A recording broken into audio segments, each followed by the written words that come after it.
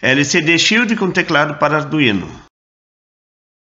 Este shield é especialmente útil para ser usado com a placa Arduino Uno, pois já vem com seis teclas que utilizam a entrada analógica zero, deixando livre as portas digitais.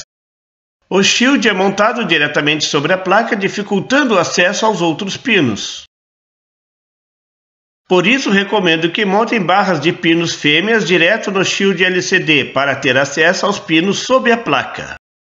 Se não tiver uma barra de pinos fêmea com o número de contatos apropriados, você pode cortar uma barra maior deixando do tamanho correto. Os pinos para a interligação do LCD estão descritos abaixo. A posição exata destes pinos é importante porque são usados na configuração da função LCD. Note que no aplicativo original do Arduino Hello World, usado para testar este LCD, os valores de configuração estão diferentes. Assim, você deve corrigir para os valores descritos abaixo. Este é um detalhe importante. O ponto alto desse shield é a forma de ligar as chaves. Foi usado um artifício bem interessante. As chaves foram configuradas para gerar tensões diferentes em função da tecla pressionada. Assim, para você testar as chaves, você deverá testar o valor da entrada analógica a zero. O circuito é mostrado abaixo com os valores da variável para o conversor analógico digital de 10 bits que é o caso da placa Uno. A interligação do shield é mostrada abaixo. Você precisa deste diagrama para ligar a alimentação e portas do seu circuito externo através dos pinos de conexão fêmea. Pinos de alimentação, pinos das portas analógicas, pinos das portas digitais. O trimpote montado no shield serve para o ajuste do contraste. Se ao ligar o display ficar iluminado e não aparecer nada, então tente ajustar o trimpote.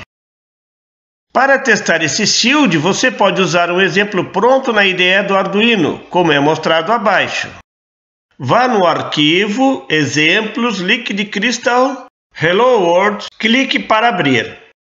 Não esqueça de corrigir a linha 44. O programa já corrigido é mostrado abaixo. Compile e rode.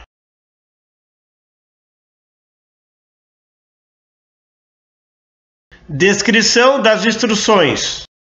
Esta instrução inclui no seu programa a livraria onde estão todas as funções usadas para escrever uma mensagem no display. Esta instrução inicializa o LCD. Nela você deverá dizer onde serão ligados os pinos do LCD na sua placa. Como no Shield esses pinos já vêm ligados, você deverá usar a configuração descrita aqui. Nesta instrução, você deverá escrever o número de colunas e linhas do LCD. No Shield é usado um LCD de 16 colunas e duas linhas. Esta linha escreve na primeira linha do LCD a frase Hello World. Você pode usar esta instrução para escrever qualquer frase. Sempre entre aspas duplas, mas evite usar letras do alfabeto português como cedilha e os acentos. Esta instrução está colocada dentro do loop e serve para posicionar o cursor na coluna 0, linha 1.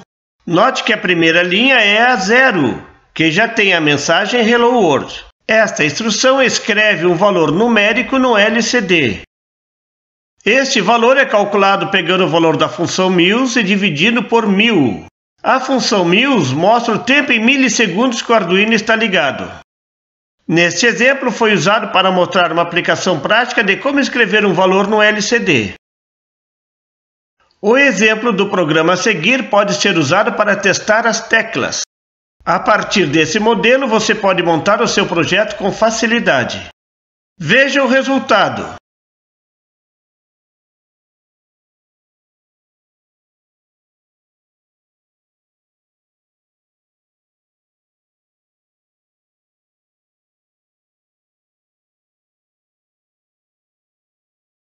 O programa é mostrado a seguir.